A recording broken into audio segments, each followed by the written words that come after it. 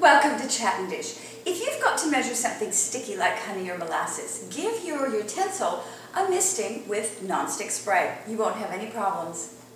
Still celebrating National Florida Tomato Month. So, we're doing baked ricotta with caramelized cherry tomatoes on top. Fantastic. Let's start off with making the caramelized tomato sauce. Slow roast 2 pints of cherry tomatoes in a 325 degree oven for 1 hour and 30 minutes.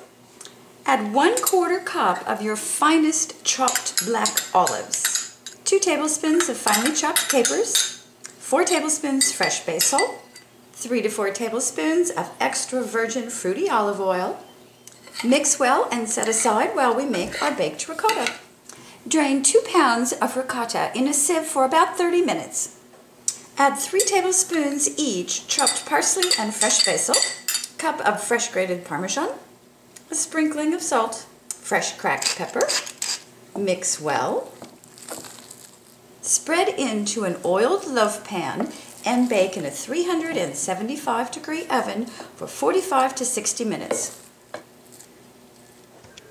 Our baked ricotta is out of the oven and on a serving platter. Now, last thing to do is just top it with our caramelized cherry tomatoes. Caramelized cherry tomatoes, so easy and so wonderful. If you're like me, you're going to find a hundred uses for them in your recipes. Let's pop on over and meet Chicago Foodie Sisters, Becky and Carrie. Now, they actually do this blog, Ensemble, which is absolutely the sweetest thing in the world, and they've got a recipe for a fresh tomato cucumber Napoleon that starts off with the foundation of your wonton or egg roll wrappers. Oh, and they've got a wonderful ginger teriyaki sauce and pesto that they mix into this. It's absolutely a flavor extravaganza. Do check it out on Chicago Foodie Sisters.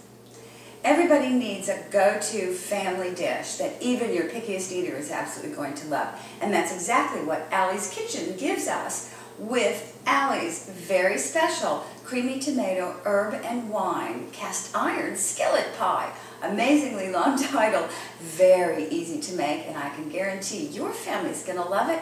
I tried it, mine do absolutely. As always, thank you for visiting. Until next time when we talk about two more great food bloggers and I share another family favorite recipe, I'm going to miss you.